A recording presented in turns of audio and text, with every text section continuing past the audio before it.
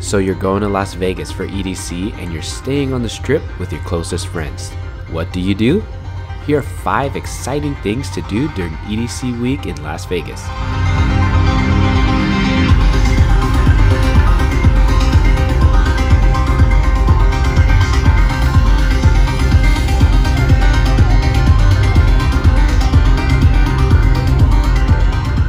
Number 1. Area 15.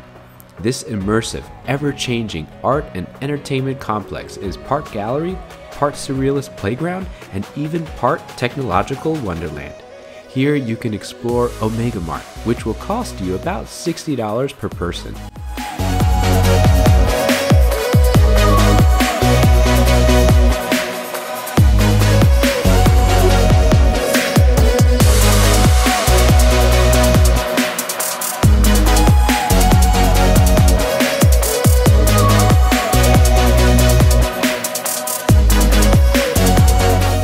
Or you can drink at their super dope bar, Oddwood.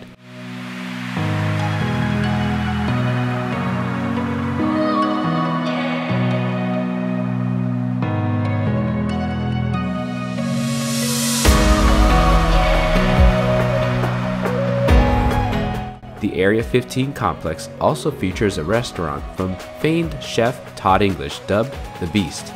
And on the second floor is The Emporium, an arcade with a bar, games, and pool. One of our favorite when we're in town for EDC.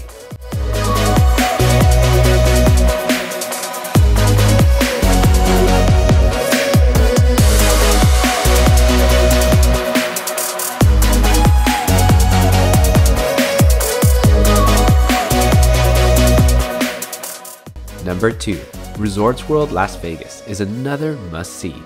Home of the iconic EDC Hotel, you'll be able to be around some of the EDC festivities while enjoying the modern luxuries of the Resorts World Hotel.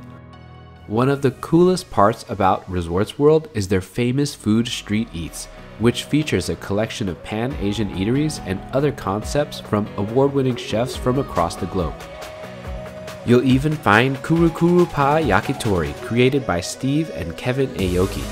After a night of raving, head to the food hall to refuel.